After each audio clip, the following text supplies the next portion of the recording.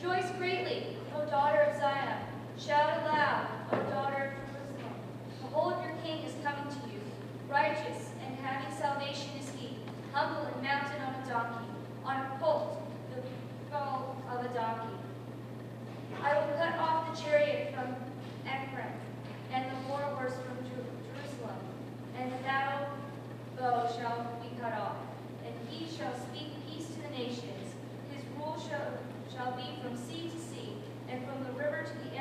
As for you also, because of the blood of my covenant with you, I will set your, your prisoners free from the waterless pit.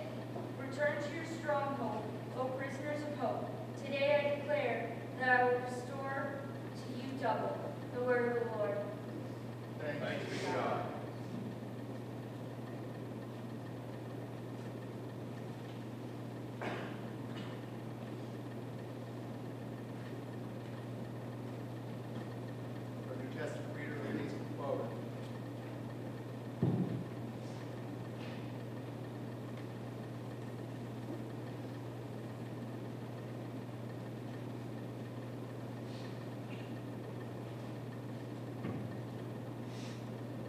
For I do not understand my own actions, for I do not, for I do not do what I want, but I do the very thing I hate.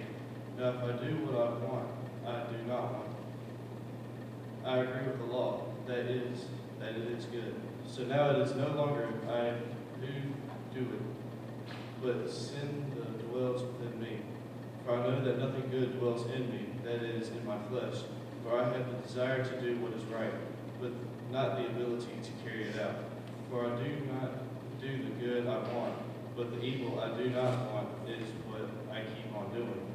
Now, if I do what I do not want, it is no longer I who do it, but the but the sin that dwells within me. So I find it to be a law that when I want to do the right, evil lies close at hand. For I delight in the law of God I see in my members another law waging war against the law of my mind, and making me captive to the law of sin that dwells in my members. Wretched man that I am, who will deliver me from the, this body of death? Thanks be to God